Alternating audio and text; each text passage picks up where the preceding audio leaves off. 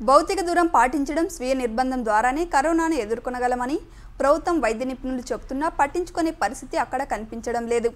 ఏమాత్రం సంకోచించకుండా జనం భారీ ఎత్తున గుమికూడుతున్నారు ధర్మవరం తహసీల్దార్ కార్యాలయంలో జనం సందడి మరింత ఆందోళనకు గురిచేస్తోంది ధర్మవరంలో అత్యధికంగా చేనేత కార్మికులున్నారు.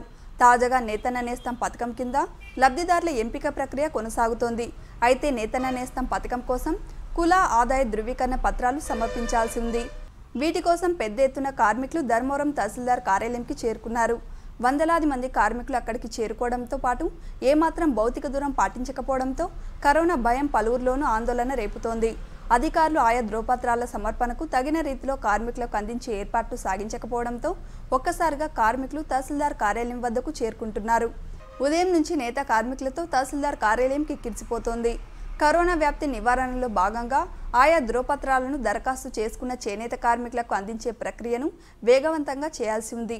అయితే రెవెన్యూ అధికారులు కూడా కార్మికులను పదే పదే తిప్పుకుంటున్నారని దీంతో తాము ఇబ్బందులు పడుతున్నామని కూడా చేనేత కార్మికులు చెబుతున్నారు.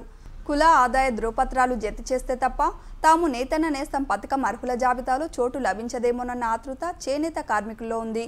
దీంతో పెద్ద ఎత్తున చేనేత కార్మికులు ధర్మవరం తహసీల్దార్ కార్యాలయం వద్దకు చేరుకోవడంతో కార్యాలయం కిక్కిడిసిపోతోంది అక్కడ చోటు చేసుకుంటున్న దృశ్యాలను చూస్తే కరోనాకు స్వాగతం చెప్తున్నట్లుగా కనిపిస్తోంది. ఇప్పటికైనా అధికారులు జాగ్రత్తలు పాటించేలా చర్యలు చేపట్టడంతో పాటు చేనేత కార్మికులకు అవసరమైన ధృవపత్రాలు వారికి అందుబాటులో తీసుకురావాల్సిన అవసరం ఎంతైనా ఉంది.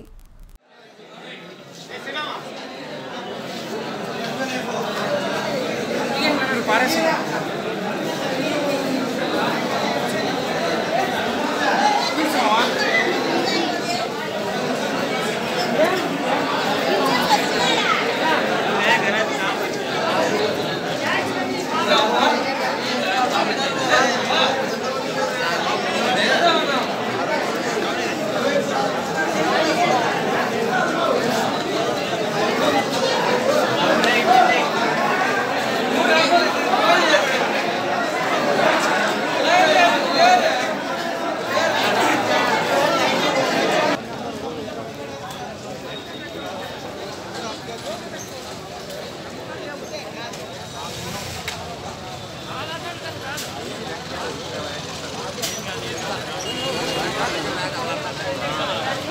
Ah.